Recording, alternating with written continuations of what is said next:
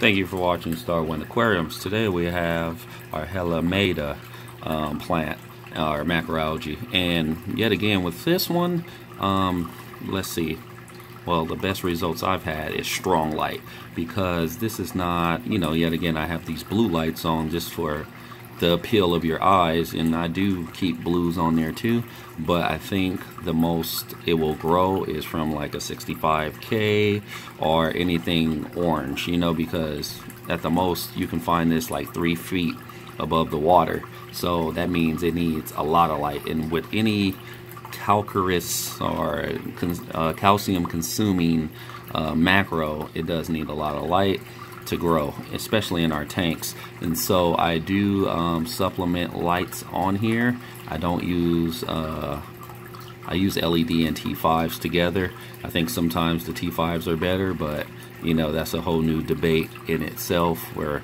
T5 is better and uh, LED is better. I'm not going to get into that. But yet again, you do need a four inch sand bed at least and plant it in there very deep so it can really just get a root structure.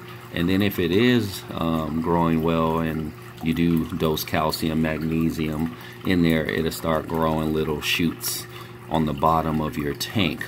And so that with that you do have to watch your calcium and your levels because it will be sucking the, the mess out of it.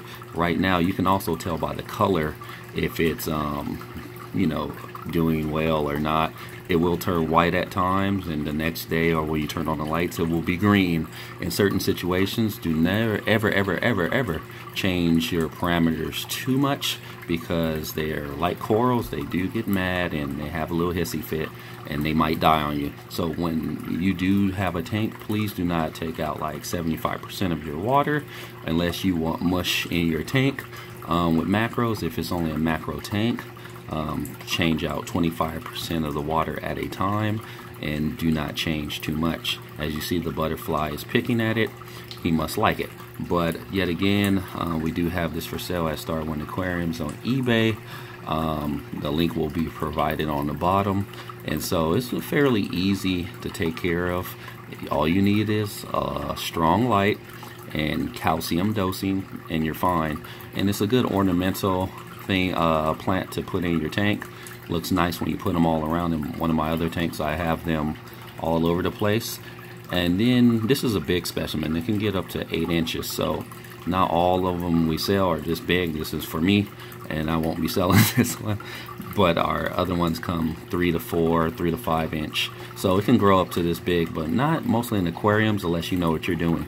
So they will be relatively small if you do have them in your tank. But yet again uh, thanks for watching. And also if you want growth you can uh, just add amino acids and you know vitamin C.